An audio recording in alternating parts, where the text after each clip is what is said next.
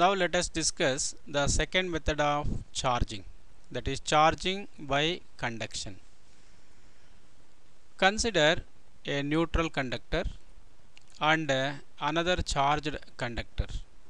When this charged conductor is kept in contact with the neutral conductor, some of the charges are transferred to the neutral conductor. After that, let us keep the charged conductor away from the neutral conductor. Some of the electrons remain on the neutral conductor and they will be redistributed on the surface of the neutral conductor. This is the method of charging by conduction. From this method we can charge only conductors but not insulators.